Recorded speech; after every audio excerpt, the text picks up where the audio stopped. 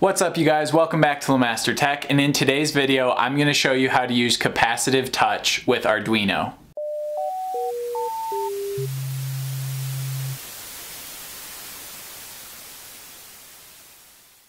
So capacitive touch is a pretty cool concept in electrical engineering and electronics, and it's very similar to how a lot of smartphone and smart screen technology works. We've covered what capacitors do on the channel in past Arduino videos, but just to recap, a capacitor is an electrical component that stores a small amount of electrical charge that can be used to smooth out electrical signals. And so capacitive touch with Arduino is actually saying you are being used as the capacitor, so your body is storing a small amount of electrical charge and that's how capacitive touch works. So in total, the hardware that you'll need for this project is just two LEDs, two 220 kilo ohm resistors, one mega ohm resistor, about six or seven jumper wires, a breadboard, your Arduino, and obviously a serial cable to communicate with the computer. Now let's zoom in and take a look at the physical build for this project. Go ahead and start the physical build by connecting your Arduino ground pin to the ground rail on one power rail of your board. Now Next, let's hook up the LEDs,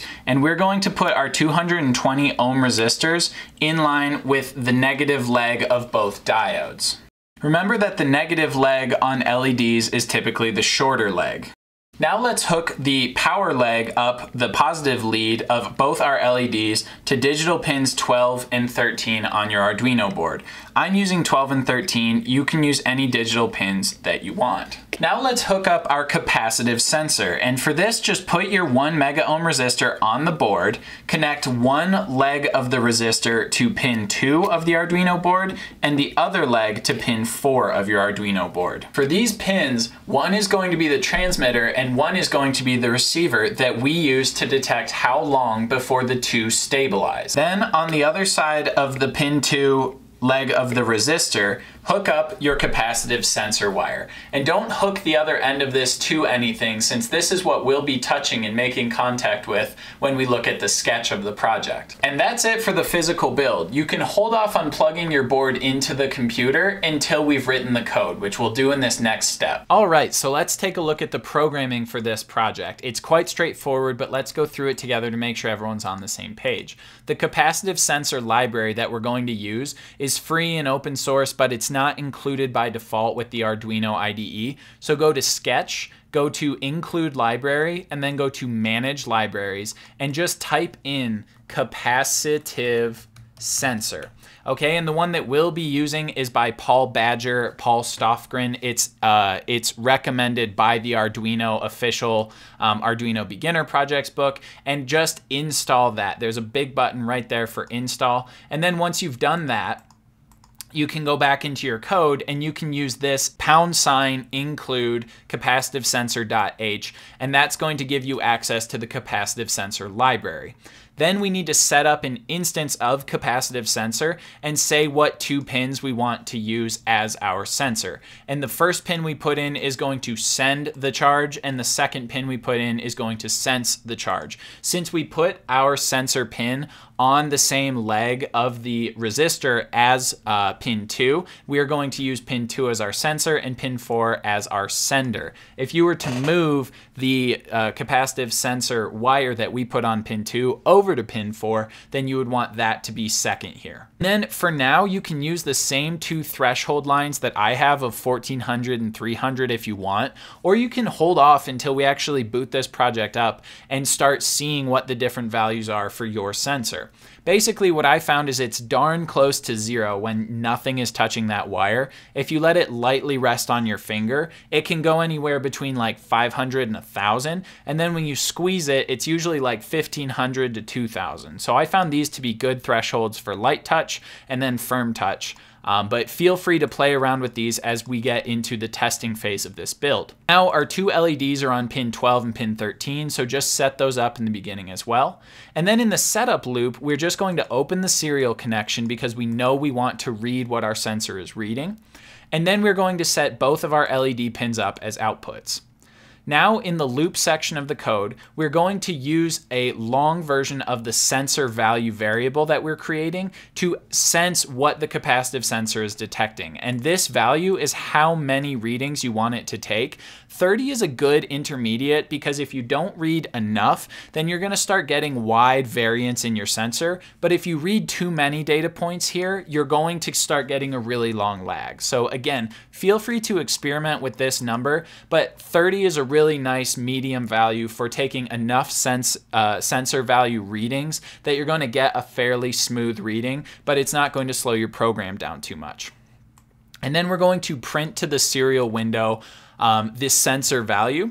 And what we want to do now is control the LED pins based off of our sensor value. So if it's greater than that first threshold, let's turn our first LED pin on. And that's what we're saying our firm pin, uh, our threshold, our higher threshold was just threshold one.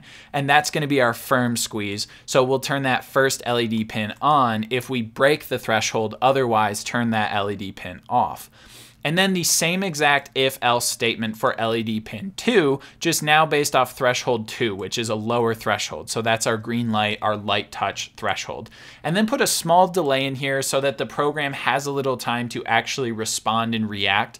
Uh, this is just 10 milliseconds, it's not a long delay, and it just means your uh, sensor has a reasonable amount of time to adjust to actual field data. Okay, and so uh, this is all you need. You can find a link to this code in the description of the video video below, or you can go to File, Examples, uh, and then in the starter kit, basic kit, uh, P13 touch sensor lamp is very close to this. All you need to do is add threshold 2 and LED pin 2 to your program so that you get two sensors because that only has one uh, LED in it by default. Go ahead and locate your Arduino board from the dropdown, hit upload. As long as you don't get any errors saying that something was done wrong, it'll say successful, it'll show you how much of the memory it used, and now we can check out what's happening with our board. So right away when you power it on, you should notice that your communication lights start lighting up, but your LEDs don't immediately turn on. If you have an LED turned on right away, then your thresholds you used in the code might be a little too low, so you can tweak those.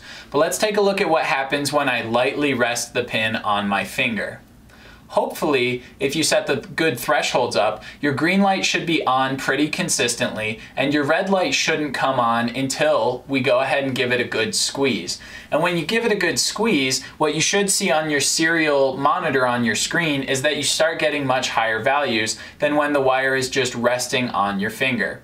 This is because when you're squeezing it, you're, you're actually storing quite a bit more electricity because you're able to make a better connection. But when it's just resting resting on your finger, you have a light connection so you're not storing as much capacitive energy. Feel free to play around with the thresholds until you start getting really good numbers where you're able to make the both lights turn off when you're not making contact, the green light on when you're making light contact, and the red light on when you're making firm contact.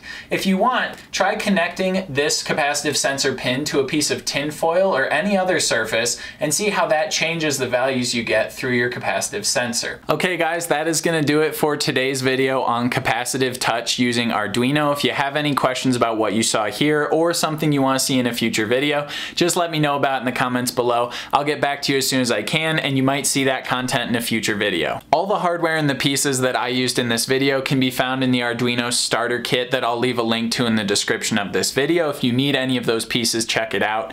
If you love the content we're producing on the channel, please consider becoming a Patreon super supporter of the channel at the link below as well. As always, good luck with your projects. Thanks for watching. Until next time, bye.